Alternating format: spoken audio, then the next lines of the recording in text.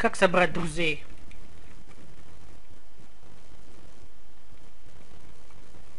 Книга предназначена для чтения родителям и детям. Странная шутка. Время то несется во весь опор, никак за ним не успеть, то тянется еле-еле. Все дела переделаешь сидишь сидим, от нечего делать, секунды считаешь. Нюшина время обычно проносилось со скоростью света. Не успеешь проснуться и умыться, как уже пора бараша вдохновлять. Кроша приличным манерам учить или к сову не бежать за новым рецептом заплетания косичек. Но на этом, но на этот раз день полз со скоростью длинного ленивого удава. С самого утра Нюша ждала, когда он закончится, и чтобы скоротать время, разгадывала кроссворд в своем любимом журнале «Смешайки». Друзья, которые зашли тебе на чай. Пять букв. Скучающе промотала она. Г, О, С, Т, И. Влезла. Да, кстати, прошло полдня, еще никто не задумался проверить мне, спросить, как здоровье, свинство какое-то. И отложив журнал, Нюша принялась глядеть в окно. Если Нюша не тянулся как удав, в тот день Кроша летел как стрела. Раздобыв этот чертеж сверхточного аппарата для изменения скорости, всего чего угодно, Крош решил его смастерить... Крош решил его смастерить, да. Времени, как всегда, было в обрез, поэтому аппарат пришлось немного упростить. Теперь оставалось только проверить его в действии. В качестве ассистента был приглашен верный ежик. Для начала решили провести испытание на деревьях. Крош направил аппарат на цель и нажал красную кнопку. Раздался громкий чпоньк, из аппарата вырвался привязанный к резинке шарик и, ударившись в ближайшее дерево, отскочил обратно. Стрелка на датчике показала на отметку 0. «Скорость дерева! 0 километров в час!» — объявил Крош. «А почему?» «Почему?» — забеспокоился ежик. «Да потому что дерево стоит на месте!» — объяснил Крош и задумался. Пора было переходить к испытаниям на добровольцах. Добровольцам единодушно выбрали ежика. Чпоник снова вырвался на волю шайк. Очень точно, измеив скорость ежика, сраженный этой точностью, ежик упал на землю. «Ага, видишь, ты решил со скоростью э, беспечного ежика», — возликовал Крош. Ему, как изобретателю, было приятно, что ежик настолько поражен его изобретением. «Дай, теперь я!» — промычал ежик, потирая здоровенную шишку.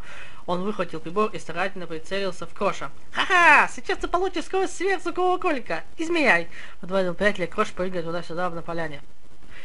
Но, видимо, упрощенный прибор не был рассчитан на изменение скорости кроликов.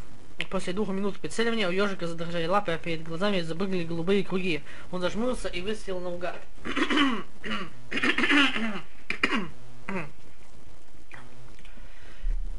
раздался крик. «Безобразие! Ну вы совсем!»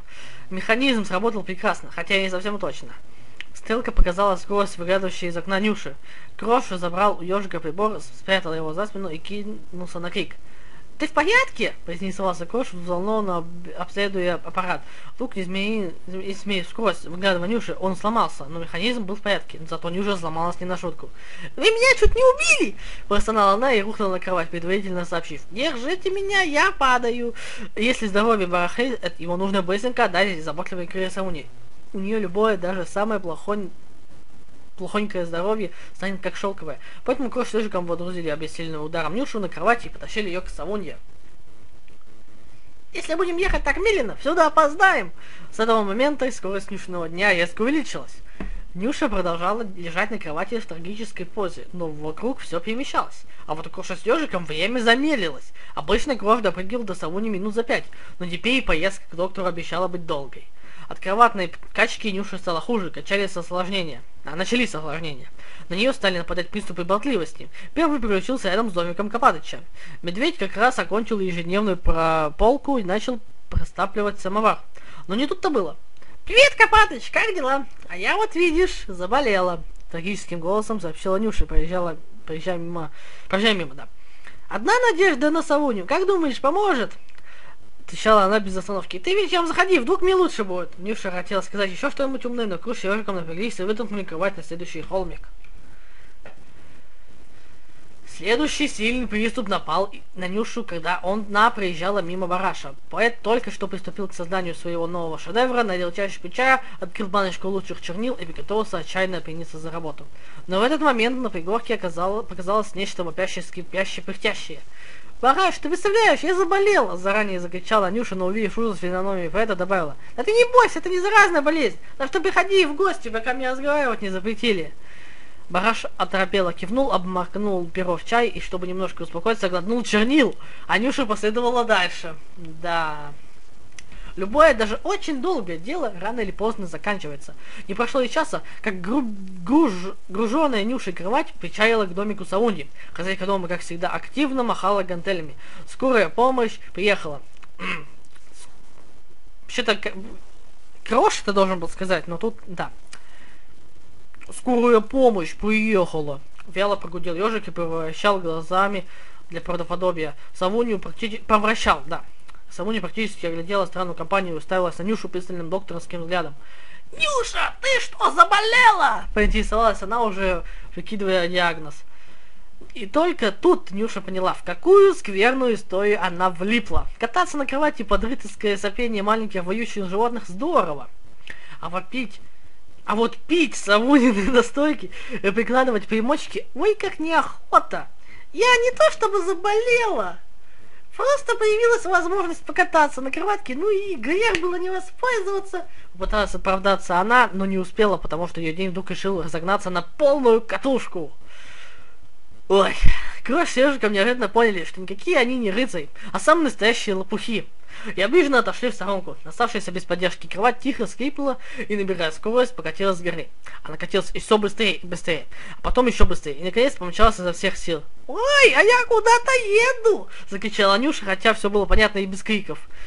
Крош с ежиком мгновенно приняли решение. Кровать надо догнать, несмотря на то, что Нюша вредина.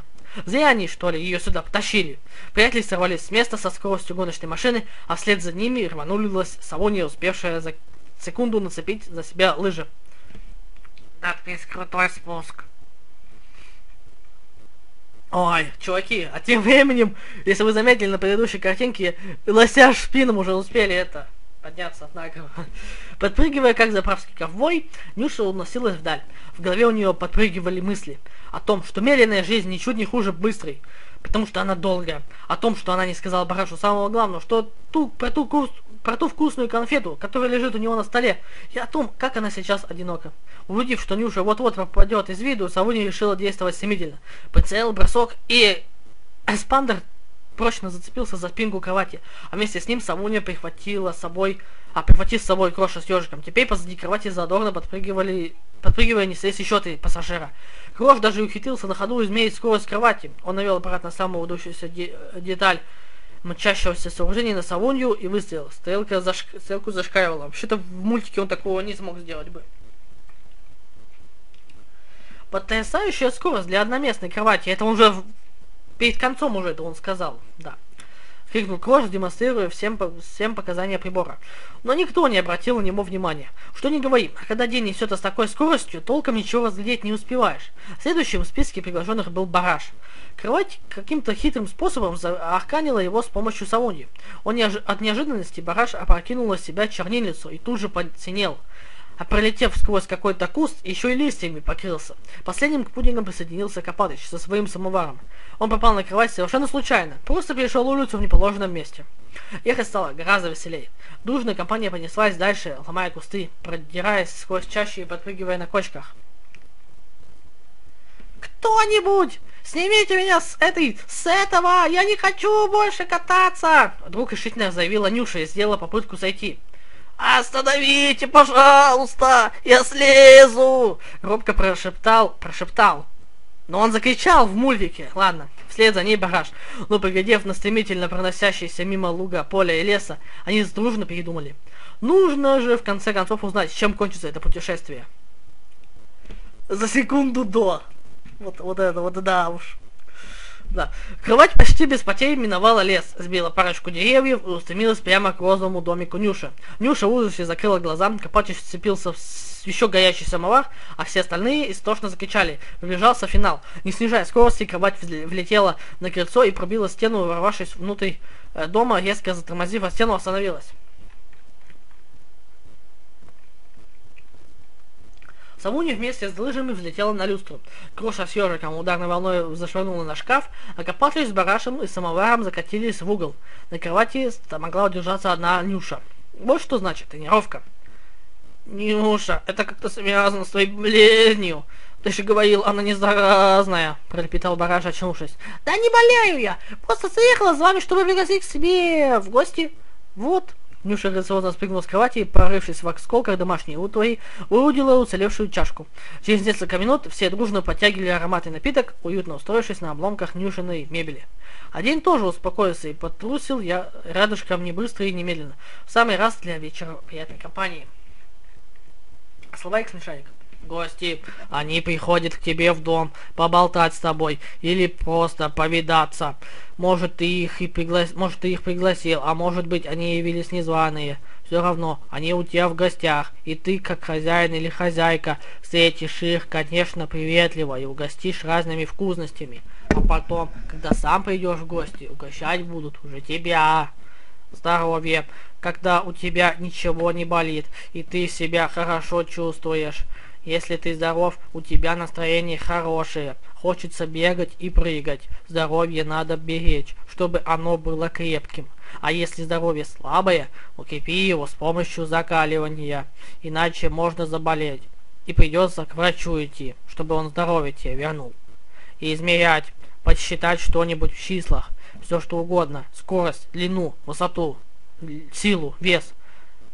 Только нужно измерительный прибор иметь. Например, линейку измерить ею длинную веревку и узнать, что длина веревки целых 10 метров, а потом измерить в короткую нитку и удивиться всего 3 сантиметра. Притворяться, делать вид, вести себя не совсем правдиво. Например, Нюша захотела, чтобы ее навестили, и сделала вид, что заболела, притворилась больной. Как Яшек смутился. Ладно. Но кем бы Нюша не притворялась, она все равно Нюшей останется. Поэтому часто притворяться не надо, а то все привыкнут, что ты притворяешься, верить не будут. Проведать. Сложное слово.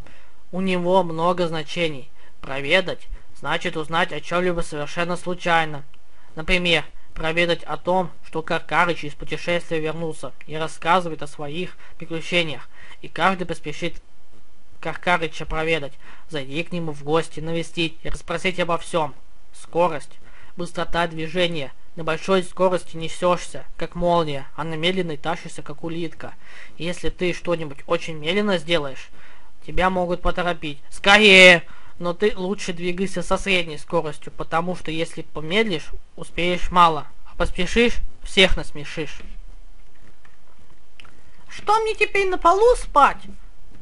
нужен новый технический кровать. Кровать самоходная. Возьми ты быстрее коробка. Я как пин сказал. Возьми ты быстрее коробка из-под спичек и склей их, как показано на рисунке. Получилась деталь 1. Возьми коробок, вынь из него коробочку для спичек и в центр бокового ребрышка вставь маленькую пружинку. Ее можно достать из старой авторучки. Внутри коробка... Какой коробка? Внутри коробка... Э, пружину загни, пружинку загни. Закрепи пластилином и аккуратно вставь коробочку обратно. Теперь будем делать абажур. Возьми половинку пластмассовой коробочки от шоколадного яйца и проделай в ней маленькую дырочку. Надень абажур на другой конец пружинки и закрепи его пластилином. Коробок с приклеи к боковой части первой детали, как показано на рисунке, с другой стороны прикрепи обычный коробок. Спички, а спинки кровати готовы. Изготавливаем ножки с колесиками. Возьми два коробка с каждой, и каждый проткни насквозь проволокой так, чтобы концы торчали на, наружу, примерно на 2-2,5 см. Затем возьми 4, 4 крышки от пластиковых бутылок, проделай в центре дырки и надень на колонки, на, на проволочки, чтобы колес, колеса не сплетели, проволоку нужно загнуть. Осталось только приклеить ножки колесик, с, колес, с, с колесами – колесами. М -м, к, основной детали. И самоходная кровать с абажуром готова. Ой, какой ящичек милый, положу туда зеркальце. Это для самого нужного в дороге, для аптечки или огнетушителя. Надпись. Крышка, колесо, коробок, проволока, о, ось. Вот это все.